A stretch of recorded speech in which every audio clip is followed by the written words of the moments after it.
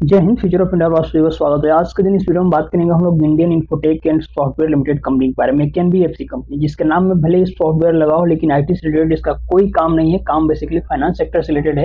काम और फंडामेंटल के ऊपर डिस्कस होगी। साथ में जो तेज़ी आपको देखने को मिल रही है, इसके बारे में बताऊँगा कि तेज़ी आपको सस्टेनेबल बेसिस पे दिखेगा कि नहीं। कि ऐसा तो नहीं है कि सिर्फ़ एक आध दिन की तेज़ी है, यानी कि दो चार दिन की चांदनी और फिर अंधेरी रात, ऐसा बात तो नहीं है। क्योंकि आपको पता है, जब से इस कंपनी का राइट इशू आया, अभी हाल ही में राइट इशू आया था, इसी साल जनवरी में।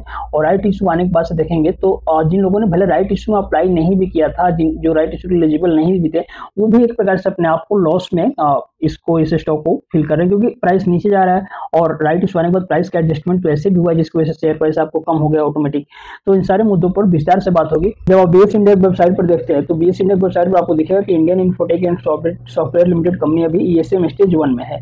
अब कोई stock E S M stage या जीएसएम स्टेज की कैटेगरी में सामान्यतः सेबी के द्वारा ही डाला जाता है और वो इसलिए डाला जाता है जब किसी स्टॉक के प्राइस में बहुत ज़्यादा फ्लक्चुएशन रहा होता है। यानी कि प्राइस बहुत या तो बहुत ज़्यादा डाउन आ रहा हो या बहुत ज़्यादा तेज़ी से ऊपर की तरफ़ बढ़ रहा हो। हालाँकि, जब प्राइस ऊपर बढ़ रहा होता तो स्टॉक शायद ही ई की कैटेगरी में जाता है। ज़्यादातर केस में देखा गया कि जब प्राइस नीचे की तरफ़ आ रहा हो, तब आपको उस स्टॉक को ई या जीएसएम की कैटेगरी में डाला जाता है। अब ई की कैटेगरी में आ गया तो यदि कोई व्यक्ति बेच के निकलना चाहेगा प्राइस नीचे आए तो बेच नहीं पाएगा। हालाँकि लोअर सर्किट में भी नहीं बेच पाता है, लेकिन जब ये ई कैटेगरी में कोई स्टॉक होता है तो लोअर सर्किट में ही उस समय कंपनी का शेयर प्राइस चल रहा होता है। तो आपको ये दोनों चीज़ों को ध्यान में रखना होगा। यहाँ पे देखेंगे तो अभी है कि हाल के दिनों में लोअर सर्किट लगा था सत्ताईस मार्च तक, लेकिन जो लास्ट ट्रेडिंग सेशन अपना रहा, वहाँ पे अपर सर्किट इस स्टॉक में लगते हुए दिखा है। अब जाके एक उम्मीद सी जाएगी कि फिर से शेयर प्राइस में मूवमेंट आएगा, फिर से शेयर प्राइस में तेज़ी आएगी। हालाँकि इसको हम लोग चार्ट पर समझेंगे, जब मैं टेक्निकल एनालिसिस करूँगा तो वहाँ पर बताऊँगा कहाँ पर क्या चीज़ें हैं। लेकिन ये खुशखबरी जैसी बात है जो मैंने आपको यहाँ पे अपडेट दे दिया। अब हम लोग यहाँ पर आ गए हैं स्क्रीन की वेबसाइट पर इंडियन इन्फोटेक्स और सॉफ्टवेयर लिमिटेड को यहाँ पे ओपन करते हैं और सीधे चलते हैं। सबसे पहले चार्ट पर कंपनी का टेक्निकल एनालिसिस करते हैं उसके बाद तमाम पहलुओं पर डिस्कस करेंगे कि हमें नए और पुराने जो भी इसके इन्वेस्टर्स हैं, उन्हें क्या करना है। तो अभी नीचे देखिए, एक साल के चार्ट पर यहाँ पर हम आए हैं।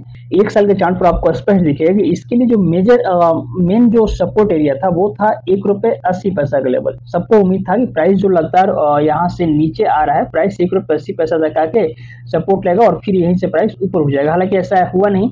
प्राइस इस लेवल को इजिली ब्रेक कर दिया और बहुत नीचे आ गया। हालाँकि कम से कम यहाँ तक आने के बाद, एक रुपये सिक्सटी पैसा के आने के बाद, यहाँ तक प्राइस को आगे ठहरना चाहिए था और यहाँ पे समय बिताना के प्राइस को ऊपर निकलना चाहिए था। नहीं भी ऊपर निकलता तो फिर भी यहाँ पर ही समय बिताते रहता तो ज़्यादा बेहतर होता।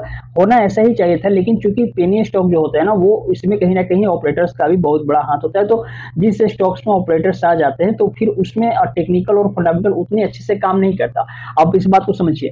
खैर, हालाँकि इस बात से इग्नोर नहीं किया सकती टेक्निकल बिल्कुल काम नहीं करता। काम करता है, मैं यहाँ पे बता रहा हूँ कैसे काम करेगा। अभी देखिए, इस स्टॉक का प्राइस अब इसके लिए जो अगला सपोर्ट लेवल निकल कर सामने आ रहा है ना, ये ये आ रहा है एक रुपये बीस पैसा का लेवल और अभी प्राइस इसका चल कहाँ पे रहा है? एक रुपये चौदह पैसा के, चालीस पैसा के करीब इसका प्राइस यहाँ पे चल रहा है। हालाँकि प्राइस यहीं से आपको घूमते हुए दिखने लगा है। प्राइस आप यहाँ से ध्यान से देखेंगे तो प्राइस अब ऊपर की तरफ़ जाते हुए दिख रहा है। हालाँकि प्राइस तो यहाँ पर भी ऊपर की तरफ़ गया था, लेकिन फिर प्राइस यहाँ से नीचे आ गया। प्राइस यहाँ पर भी ऊपर गया था, यहाँ पर भी गया था। मेन चीज़ ये है कि मुझे लगता है कि प्राइस ये जो एक रुपये चालीस पैसा के आसपास है, ये एक रुपये चालीस पैसा के पास जाके फिर यहाँ से रेजिस्टेंस रजिस्ट करके प्राइस थोड़ा नीचे आएगा। और ये आएगा कम से कम एक रुपये बीस पैसा के आसपास।